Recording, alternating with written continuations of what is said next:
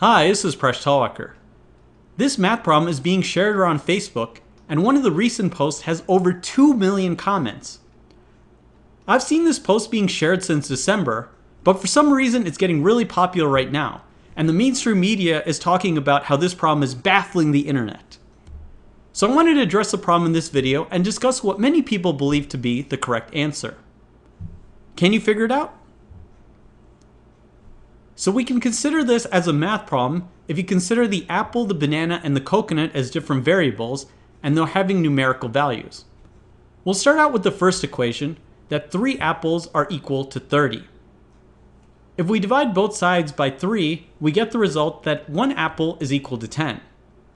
This is generally an accepted part of the problem.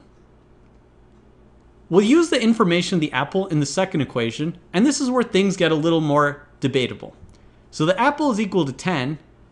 And then if you look at the rest of the equation, you have two different bunches of bananas.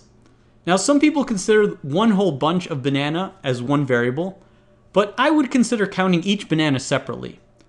So there are actually four bananas in each bunch, so you'd want to count that there are an eight total of eight different single bananas. And that equals 18. So we subtract by 10 and then divide by 8, we get the result that each banana is equal to 1. We now have the equation that 4 bananas minus a full coconut is equal to 2. So we have 4 minus the coconut equals 2. We can solve this to get that the coconut is equal to 2. Now, even people who agree up to this point still might have a debate about the very last line, which is what you're supposed to evaluate.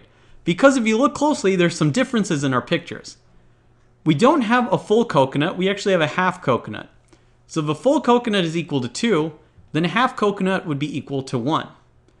So we have 1 for the coconut, we add 10 for the apple, and finally people still get confused at this point because we don't have 4 bananas. If you look closely, we actually only have 3 bananas. So you want to add 3 at this point, and you get 1 plus 10 plus 3, and that gives us our answer of 14.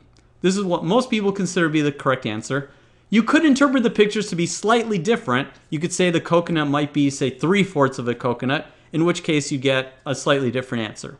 But 14 is what many people consider to be the correct answer. Thanks for watching this video. Please subscribe to my channel. I make videos on math and game theory. You can catch me on my blog, Mind Your Decisions, which you can follow on Facebook, Google+, and Patreon. You can catch me on social media at Presh. And if you like this video, please check out my books. There are links in the video description.